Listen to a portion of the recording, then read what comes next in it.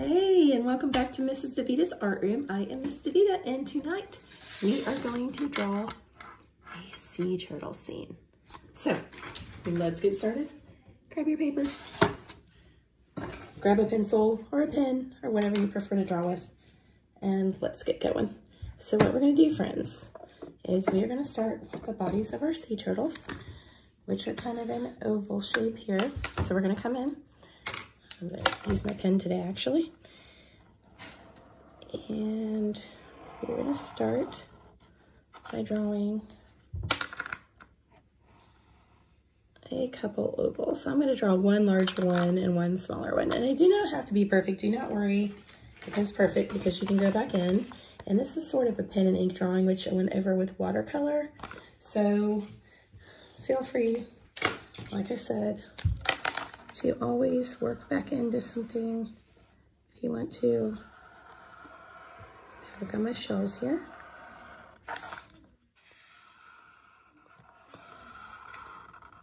Again, I realize that's not perfect, but you can always go back and work into something. Okay. Perfectly imperfect. Now we're gonna do some fins. So it's kind of like a, almost like a V shape, or like a rabbit ear. See that? So the front fins of our sea turtle look like this. They are bent. And the back fins are more like a triangle or a triangular shape. So they come out like that. Okay. And I can kind of come in a little pattern or design. Same a marker here, same thing over here. Okay, and I'm gonna come in. I'm gonna make my head. Maybe some little eyes, nostrils, okay. Maybe some little spots on my sea turtle. Sea turtles oftentimes have these spots on their fins and on their head etc., etc. All right. So if you want to do those, that's fine. If you don't, that's fine as well. This is your sea turtle drawing. Okay.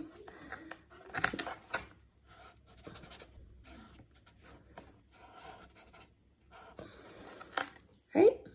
Got it going on. All right.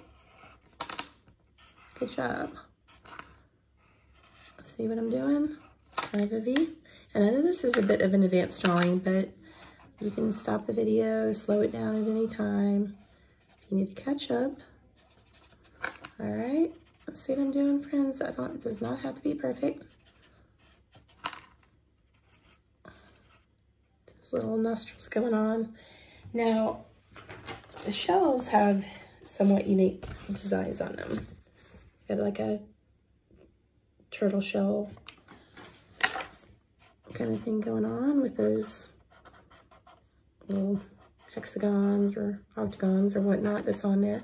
Now those don't have to be perfect. What I can do is I can kind of come in, just make almost a pattern of sorts on my shell.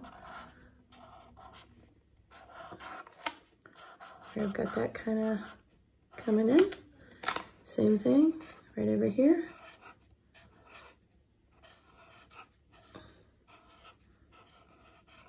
All right. Again, I can come back in and do a little bit more detail, etc. to that. I can come in and do some sort of pattern within those. It's the really nice thing about this. So you can get some pattern, etc. going on. I could do something different over here on my smaller turtle shell. All right. So what I got going on there? Okay? Now what, once I've got my turtles in there, what I probably wanna do is maybe come back in down here and figure out what's going on with my seafloor. Do I have rocks down there? Do I have coral down there? What's going on at the seafloor there? I could do some like little texture here.